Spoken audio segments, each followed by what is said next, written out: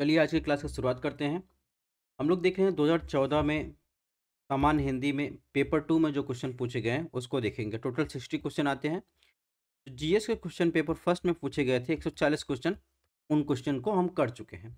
इसके बाद जो नेक्स्ट टेस्ट होगा तो 2014 वाला एग्ज़ाम 2015 में हुआ था। 2015 वाला एग्ज़ाम जो है 2016 में हुआ था। 2016 वाले क्वेश्चन को देखेंगे।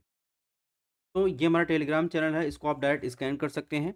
या फिर डिस्क्रिप्शन बॉक्स में लिंक दिया गया है, वहाँ से आपको क्लासेस की पीडीएफ क्लासेस की इन्फॉर्मेशन मिल जाएगी। आप उसको ज्वाइन कर सकते हैं। ये हमारा फेसबुक पेज है स्टडी ऑन यूपीएससी नाम से है। इसको भी आप ज्वाइन कर सकें, ये हमारा इंस्टाग्राम आईडी है।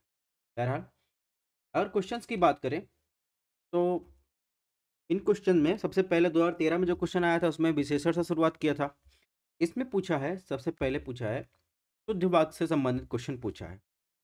एक बात ध्यान रखने की बात है कि जितना आप प्रैक्टिस करेंगे, उतना भी, उतना ही आपका क्वेश्चन सही होगा शुद्ध वाक्य के संबंध में। क्योंकि कई सारे टाइप होते हैं, ठीक है?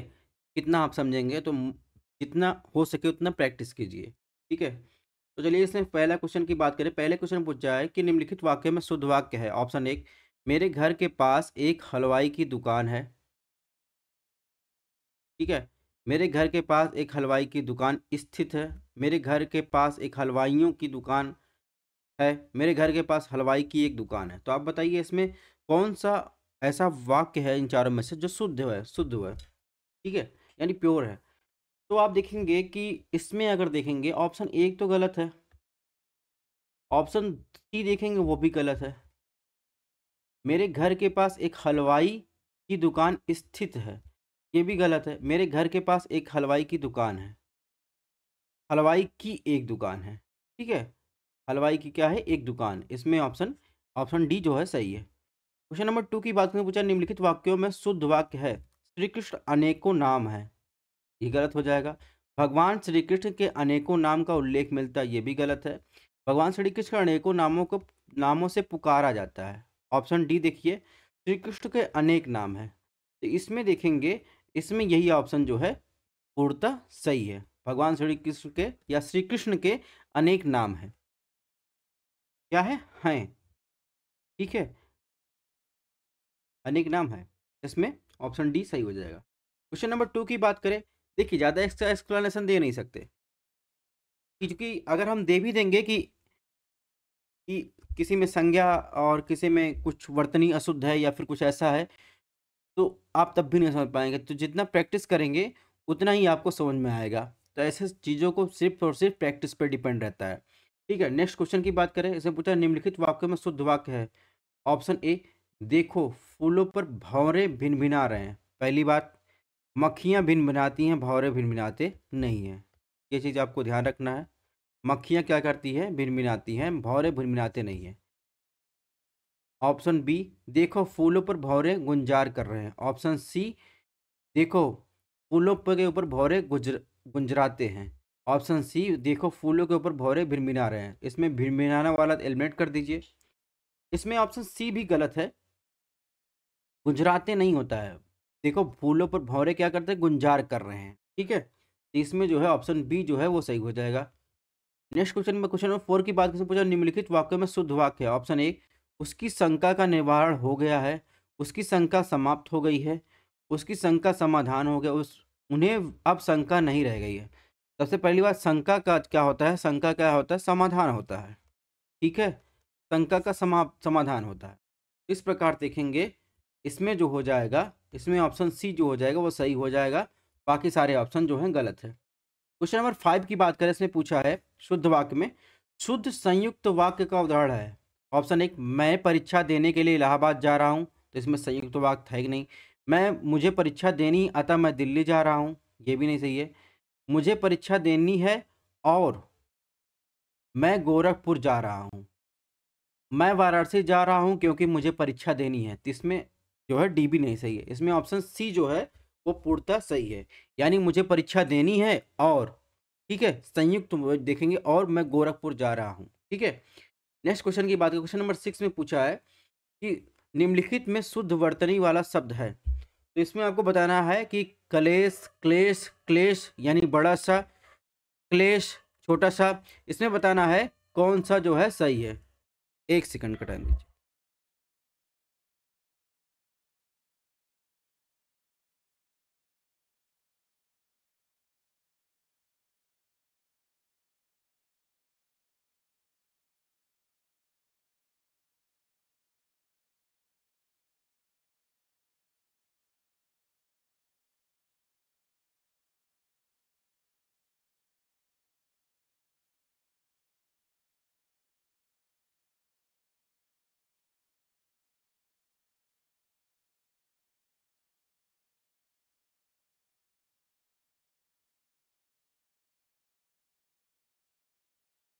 सॉरी फॉर डिस्टर्बेंस हाँ तो इसमें हम लोग बात कर रहे थे क्वेश्चन नंबर सिक्स में। इसने पूछा, निम्नलिखित में से शुद्ध वर्तनी वाला शब्द है? यानी आपको बताना है इन चारों में से कौन सा शुद्ध रूप से लिखा गया है। तो कलेश, क्लेश क्लेश, ठीक है, पढ़ेंगे तो ऐसे ही। क्लेश को चाहे बड़ा सा, उसमें हम देख के अंतर कर सकते हैं। तो आप बताइए, इसमें कौन सा जो है शुद्ध रूप से लिखा गया सॉरी इसमें आप देखेंगे, जो क्लेश लिखा जाता है, वो आधा क, ल ल, पे, एक मंत्र, बड़ा सा लिखा जाता है। ना कि छोटा सा ये वाला भी सा भी नहीं लिखा जाता है, ठीक है? क्वेश्चन नंबर सेवन की बात करते हैं निम्नलिखित में शुद्ध वर्तनी वाला शब्द बताना श्रृंगार श्रृंगार श्रृंगार श्रृंगार, पढ़ेंगे तो सब ऐसे ही, लेकिन शुद्ध रूप में क्या है? ठीक है? आप देखेंगे, जो आप सोच रहे होंगे कि इसमें जो है, ऑप्शन जो है, ऑप्शन ए वाला सही है। लेकिन ऐसा नहीं है। यहाँ देखेंगे, श्रृंगार जो लिखा जाएगा, वो आप या तो छोटे सा में, इसमें छोटा सा दिया गया है, लेकिन होगा बड़ा सा। बड़ा सा होगा, आधा र होगा, ग होगा, रा होगा, ग अंक की मात्रा होगी। क्यों ऐसा कह रहे हैं? क्योंकि देखेंगे, इसमें जो श्री है, ठीक है, ये संयुक्त अक्षर है का निर्माण करता है, ठीक है। लेकिन आप देखेंगे, जो श्रृंगार है, ये वाला शाह है, इसमें आप देखेंगे सा प्लस सा जो है, इसमें देखेंगे शाह है, प्लस जो है इसमें सा तथा उसके सा और रा के संयोजन से बनता है, ठीक है? सा, रा के संयोजन से बनता है, ठीक है? जबकि यहाँ पे जो श्रृंगार है, वो देखेंगे इसमें शाह है और री के संयोजन से बनता है तो इस प्रकार देखेंगे, इसमें जो हो जाएगा, ऑप्शन डी जो सही सही हो जाएगा, ठीक है? नंबर एट की बात कैसे पूछा, निम्नलिखित में शुद्ध वर्तनी वाला शब्द है। यानी इसमें जो चारों उज्जवल लिखे गए हैं, वो उसमें शुद्धतम कौन सा लिखा गया है, आपको बताना है। उज्जवल जो है, वो शुद्धतम रूप में कौन कैसे, जो है, कैसे लिखा जाता है, इन चारों में से आपको बताना है। तो आप देखेंगे, पहले सबसे पहले उज्जवल का अर्थ जो होता है, वो स्वच्छ होता है, शुद्ध होता है, साफ़ होता है। और उज्जवल का है, उज्ज्वल एक व्यंजन संधि है, ठीक है? बहरहाल, और जिसका संधि विच्छेद होता है, उत प्लस ज्वल। ठीक है? तो इस प्रकार देखेंगे, उज्जवल जो लिखा जाएगा, उ छोटा उ, आधा ज, फिर आधा ज व ल। इस प्रकार जो है, उज्जवल जो है, ऑप्शन बीस में सही है। क्वेश्चन नंबर नाइन की बात करें। नाइन में क्या पूछा है? नाइन पूछा है, निम्नलिखित में से शुद्ध वर्तनी वाला शब्द। इसमें भी आप देखेंगे तो इसमें आप देखेंगे, बहुत सारे मतभेद है। दो वाक्य हिरण कश्यप के लेकर कई लोग हिरण कश्यप कहते हैं, कई लोग हिरण कश्यप कहते हैं। तो इन दोनों में से आप देखेंगे तो इसमें ऑप्शन बी वाला जो है हिरण कश्यप जो है, लगभग जगह सही माना गया है।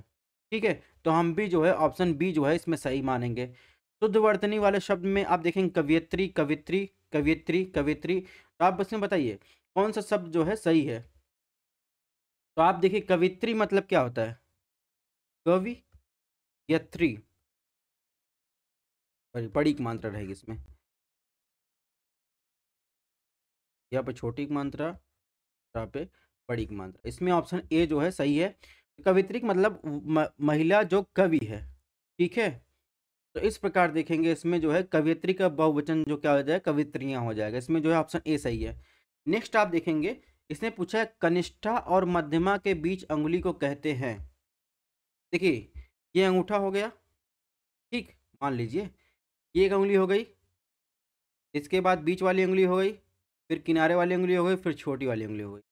इसने पूछा है, कनिष्ठा और मध्यमा के बीच इस उंगली को क्या कहते हैं?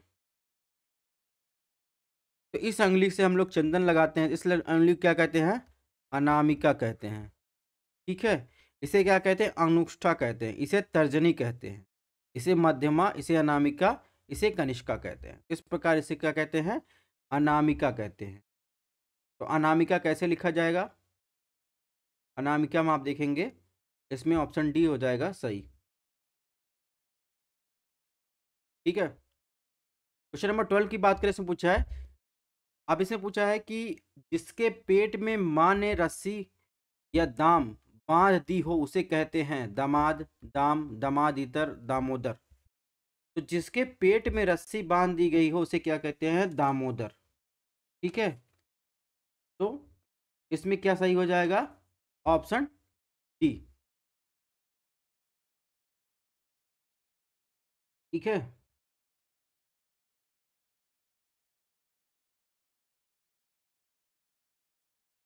नेक्स्ट क्वेश्चन की बात करें। नेक्स्ट क्वेश्चन में पूछा है कि पीछे पीछे चलने वाला वाक्यांश के लिए एक शब्द है।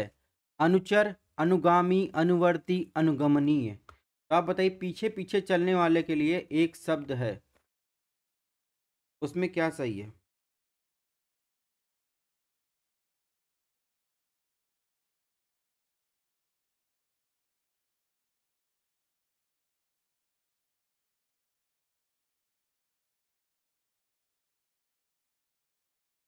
तो पीछे पीछे चलने वालों के लिए क्या यूज़ करते हैं हम लोग?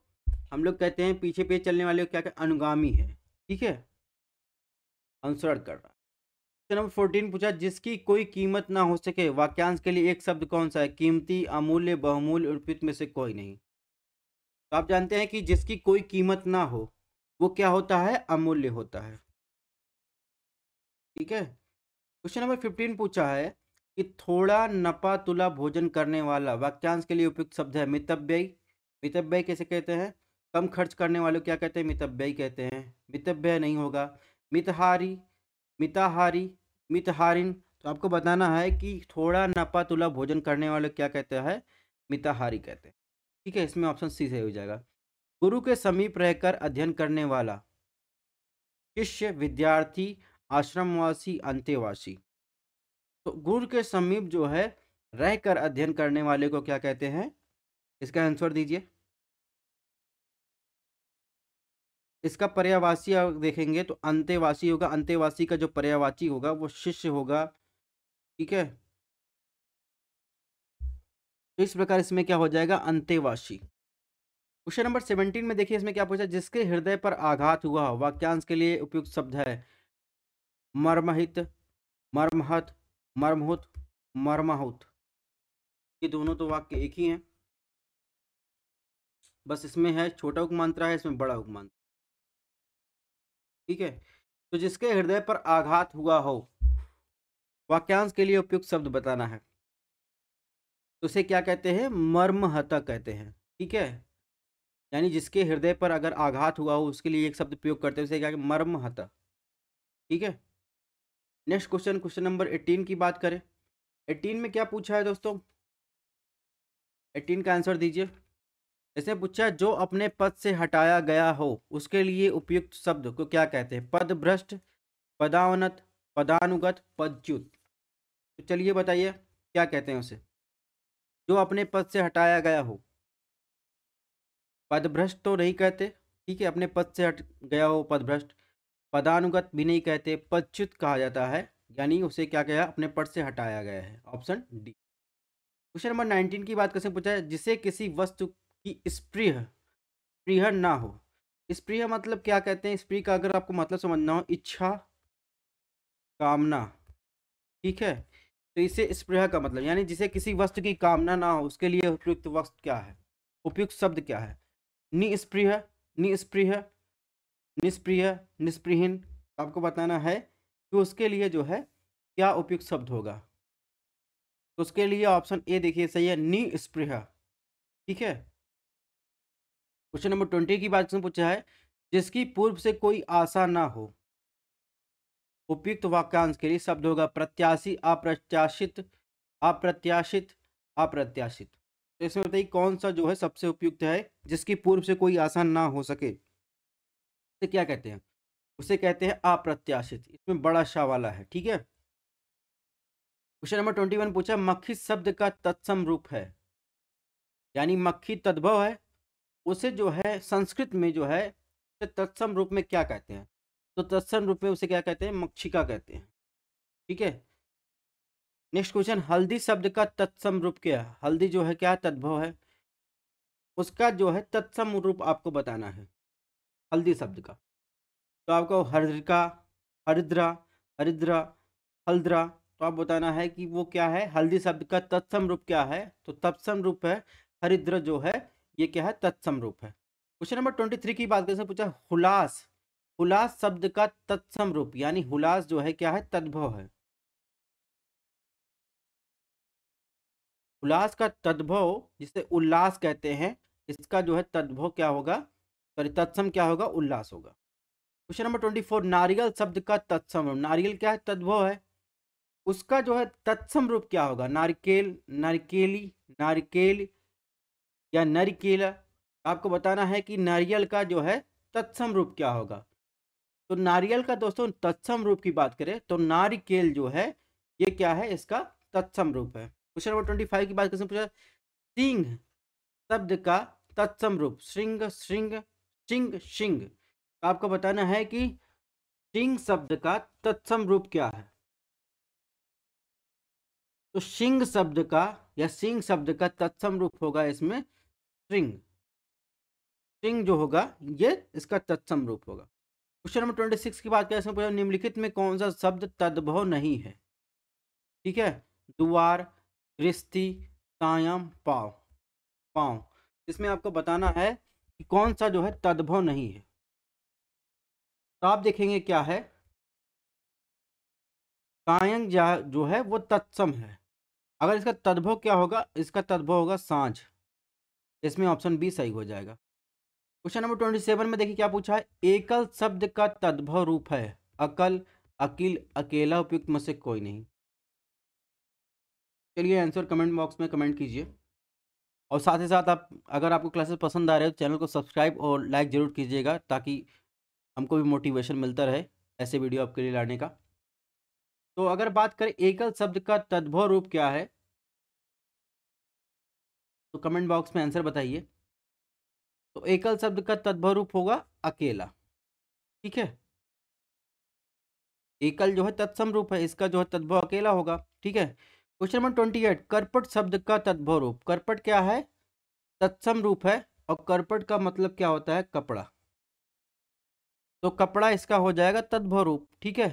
ट्वेंटी नाइन की बात करें, कैवर्त शब्द का तद्भव रूप क्या है? मल्लाह केवट, नाविक, केवल। तो आपको बताना है कैवर्त शब्द का तद्भव रूप। कैवर्त क्या है? संस्कृत शब्द है। इसे हिंदी में क्या कहते हैं? कैवर्त को जो है, केवट नाम से जानते हैं। तो इसका जो है, तद्भव क्या हो जाएगा? केवट। क्वेश्चन नंबर थर्टी में देखिए, इसने पूछा है, गृद्ध। गृद्ध शब्द का तद्भव रूप। गृद्ध क्या है? संस्कृत शब्द है। ठीक है? तत्सम शब्द है। इसका मतलब क्या होता है? जिसे आप वल्चर कहते हैं इंग्लिश में और हिंदी में क्या कहते हैं? गिद्ध कहते हैं। ठीक है? तो इसमें तद्भव क्या होगा? गिद्ध ठीक है? ये क्या है? इसका जो है गिद्ध का जो है तद्भव रूप है। क्वेश्चन नंबर थर्टी वन पूछा है।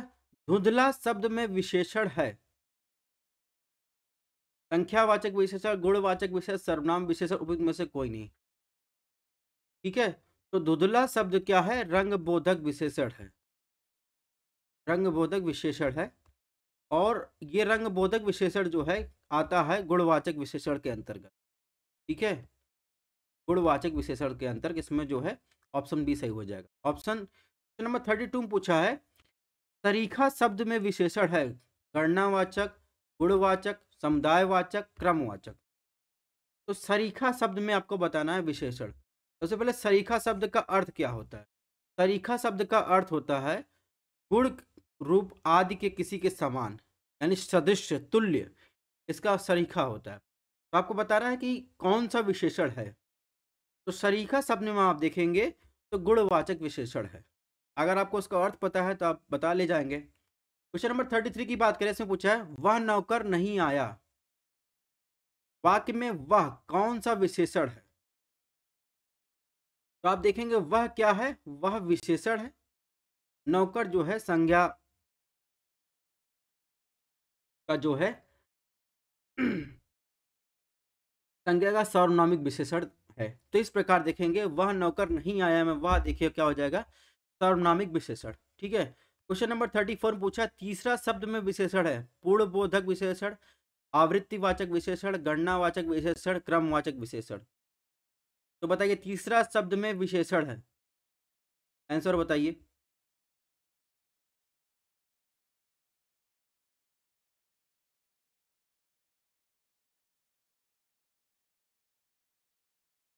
तो इसमें देखेंगे जो सही होगा, तीसरा शब्द में विशेषण होगा, क्रमवाचक विशेषण, ठीक है? और या निश्चित संख्यावाचक विशेषण, ठीक है? नंबर थर्टी फाइव में देखेंगे, चौथाई शब्द में विशेषण है, आवृत्तिवाचक विशेषण, गणनावाचक विशेषण, क्रमवाचक विशेषण अपूर्ण अपूर्णक बोधक विशेषण। तो आपको बताना चौथाई शब्द में कौन सा विशेषण है? इसके पहले वाले लेक्चर में जब 2013 का क्वेश्चन सॉल्व करवाया था तो उसमें हमने पूरा विशेषण के टाइप और वो सब सारी चीज़ें दी गई, दी थी। अगर आपने उसको पढ़ा होगा तो इसका आंसर जो है, आप लोग फटाफट दे लेंगे। ठीक है? तो एक बार 2013 वाला जो है पीडीएफ आप जो है, टेलीग्राम डाउनलोड करके पढ़ लीजिए, वीडियो से अब पॉज करके पढ़ लीजिए। तो चौथाई शब्द में कौन सा विशेषण है? चलिए बताइए। चौथाई शब्द में आप देखेंगे तो वहाँ पर आवृत्तिवाचक विशेषण है। ठीक है? क्वेश्चन नंबर थर्टी सिक्स में पूछा है, विशेषण जिस संज्ञा की विशेषता बताता है उसे क्या कहते हैं? तो ये जो है विशेष की परिभाषा है। अब जब आप स्टार्टिंग में ही 2013 में क्वेश्चन सॉल्व करवाया था तो मैंने बताया था। ठीक है? विशेषण जो है वो संज्ञा की जो विशेषता बताता है, उसे जो है, क्या कहते हैं? विशेष कहते हैं। विशेषण जो है, जिस संज्ञा की विशेषता बताता है, उसे क्या कहते हैं? विशेष कहते हैं। ये चीज़ें आपको ध्यान रखनी है। थर्टी सेवन में बात करें तो उसने पूछा, निम्नलिखित में कौन सा शब्द विशेष है? आसीन, मधुर अग्निकर्मठ तो आसीन का जो विशेष होगा, वो होगा आसन। मधुर का विशेष होगा मधुर। कर्मठ का विशेष होगा कर्म, ठीक है? और इसमें जो है अग्नि जो है, ये क्या है? खुद और विशेष है। क्वेश्चन नंबर थर्टी एट पूछा, ठंडा पानी ठंडा पैदा करता है। इस वाक्य में कौन सा विशेष है? तो आप देखेंगे, पानी, ठंडा क्या है? ठंडा तो पानी की विशेषता बता रहा है। पानी कैसा है? ठंडा है। और पानी जो है, वो क्या है? विशेष है। यानी जिसकी विशेषता बता रहा है, वो क्या है? पानी है। इस प्रकार जो है इसमें पूछा है कौन सा वाक्य विशेष है तो आपको बताना है पानी। क्वेश्चन नंबर थर्टी नाइन में क्या पूछा है? निम्नलिखित में कौन सा शब्द विशेष है? अनाशक्ति, अनाशक्त, अनुशंसित, अपमानित। तो बताइए कौन सा शब्द विशेष है? जहाँ तक अनुशंसित की बात है, उसका जो है विशेषण होगा। अगर आपसे विशेषण पूछा जाए, ये खुद विशेष है। ठीक है? इसके अनुशंसा होगा, ठीक है? अपमानित क्या, जो क्या हो जाएगा, अपमान। अनाशक्ति क्या है? इसमें जो है, विशेष है। अनाशक्ति जो है, इसका विशेषण आप देखेंगे तो अनाशक्ति होगा, इसका विशेषण यहाँ पर है। ठीक है, इसमें ऑप्शन ए सही है। क्वेश्चन नंबर फोर्टी की बात किसने पूछा? निम्नलिखित में कौन सा शब्द विशेष है? पौष्टिक, पाठ की, भावुक, विषाद। बताइए इसमें जो है, कमेंट बॉक्स में बताइए कौन सा शब्द जो है, विशेष है।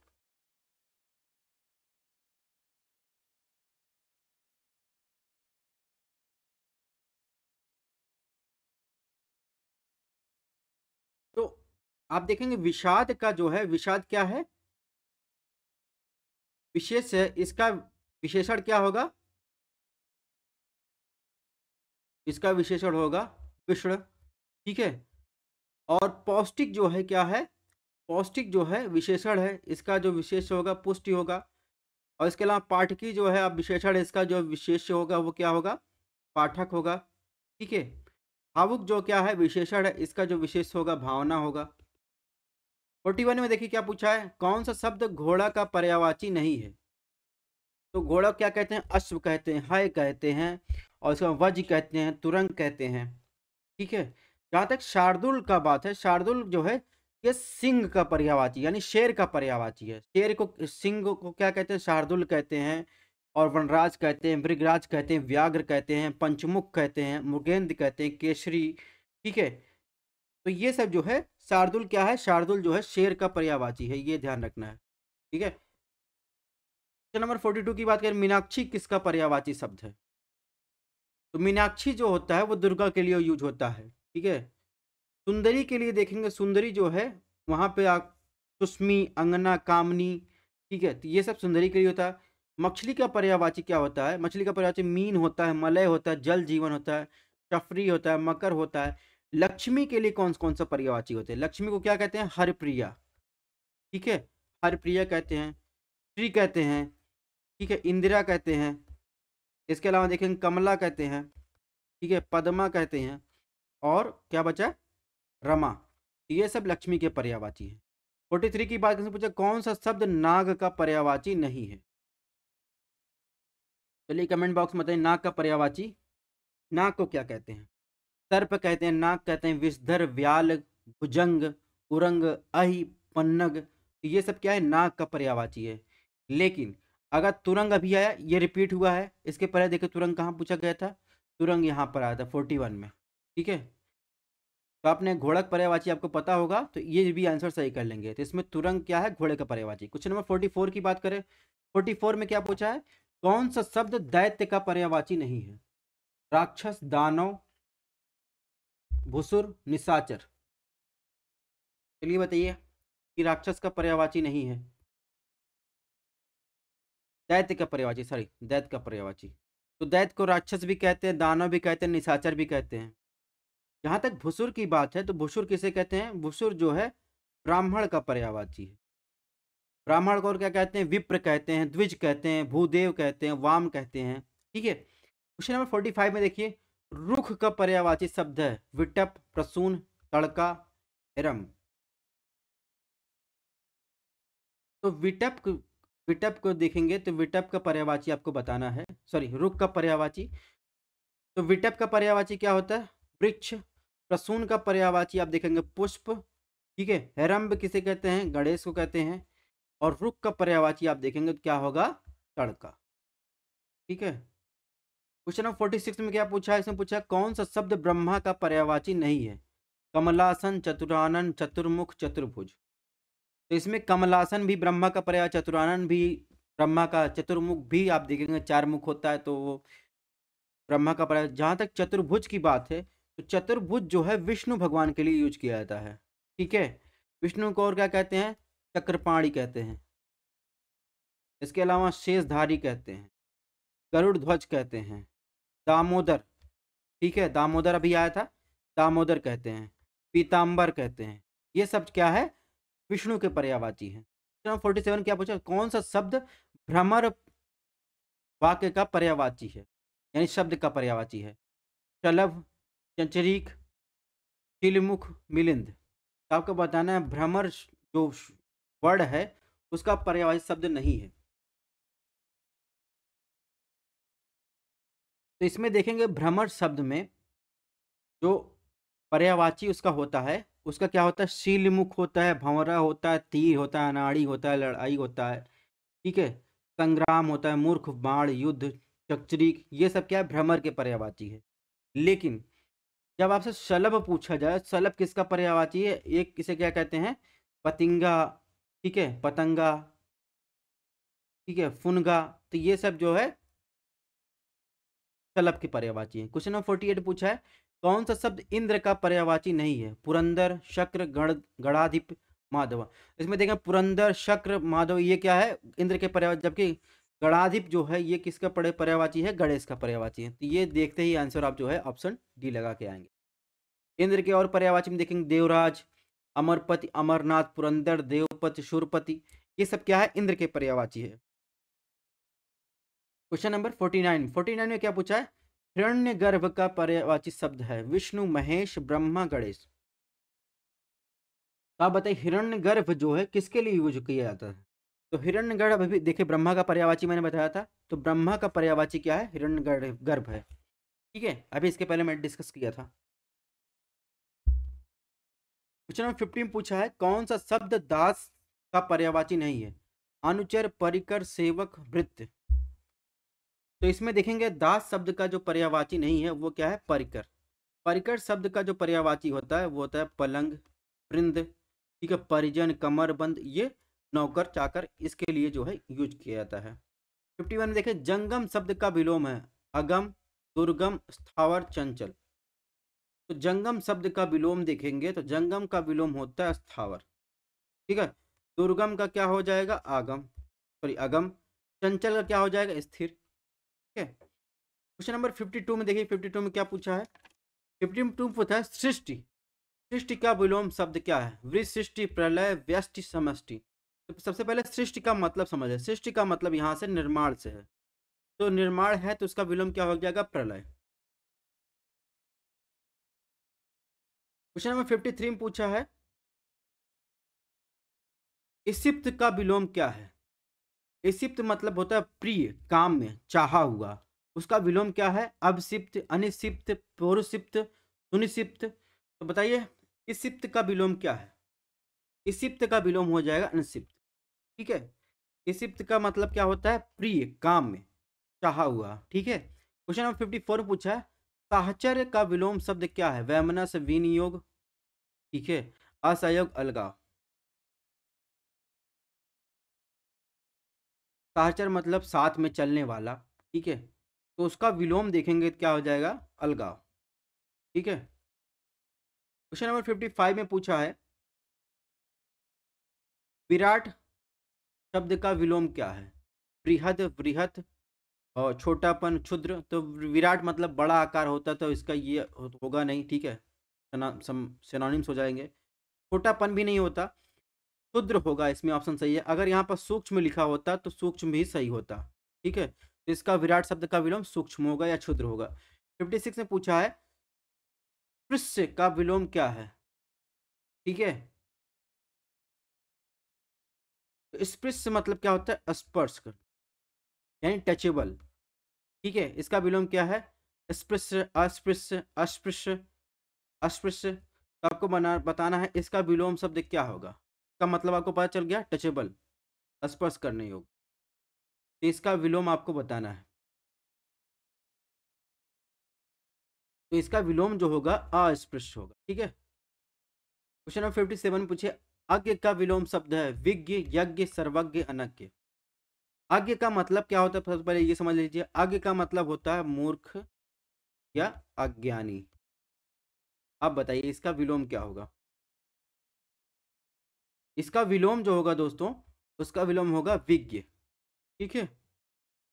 क्योंकि यज्ञ तो आपको पता है अनज्ञ पता है सर्वज्ञ। लेकिन इसमें पूछा मूर्ख और आ, जो है अज्ञानी का जो विलोम क्या होगा? तो विज्ञ जो है इसके हिसाब से होगा। चलो फिफ्टी एट पूछा है गौरव का शब्द का विलोम क्या है? लाघव लघुत्व लघुता लघुत्तम। सबसे तो पहले इसका मतलब समझिए। गौरव का अर्थ होता है जो है गुर यानी गुणता का भाव। ठीक है? अब इसका जो विलोम होगा, वो होगा लाघव। लाघव का मतलब क्या होता है? ये लघुता का भाव दिखाता है। ठीक है, इसमें ऑप्शन ए सही हो जाएगा। फिफ्टी नाइन पूछा है। बहिरंग का विलोम शब्द है। सर्वांग, अंतरंग, चतुरंग, अभ्यंग। तो बताइए, बहिरंग का विलोम शब्द क्या है? बहिरंग मतलब बहिरंग का विलोम शब्द हो जाएगा अंतरंग। ठीक है?